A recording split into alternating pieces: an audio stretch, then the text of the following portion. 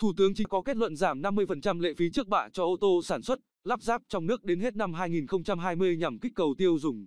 Ngày 17 tháng 5, Văn phòng Chính phủ đã có thông báo kết luận của Thủ tướng Chính phủ Nguyễn Xuân Phúc tại cuộc họp thường trực Chính phủ về dự thảo nghị quyết của Chính phủ về các nhiệm vụ giải pháp tiếp tục tháo gỡ khó khăn cho sản xuất kinh doanh, thúc đẩy giải ngân vốn đầu tư công và bảo đảm trật tự an toàn xã hội trong bối cảnh đại dịch COVID-19.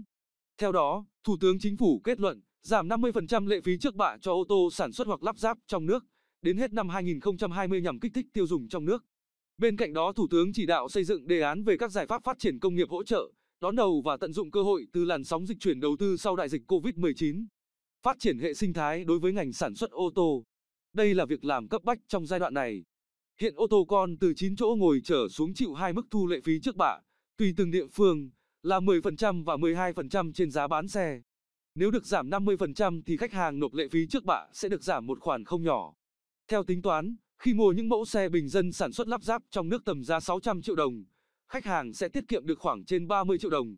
Với mẫu xe có tầm giá 1 tỷ đồng, mức tiết kiệm cho người tiêu dùng là khoảng 50 đến 55 triệu đồng xe. Với xe lắp ráp trong nước có mức giá cao nhất là mẫu Mercedes S450L Luxury 2020 có giá niêm yết khoảng 4,7 tỷ đồng, mức lệ phí trước bạ được giảm 50% tương đương gần 280 triệu đồng. Tuy nhiên, ưu đãi này chỉ dành cho xe sản xuất lắp ráp trong nước, ô tô nhập khẩu nguyên chiếc không được hưởng. Với xe thương mại lắp ráp trong nước lại không được hưởng lợi nhiều từ chính sách này. Chẳng hạn với xe tải, lệ phí trước bạ đang áp dụng là 2% giá bán xe. Vì vậy, một chiếc xe có giá bán 1 tỷ đồng, bình thường phải nộp lệ phí trước bạ 20 triệu đồng, nay giảm còn 10 triệu đồng.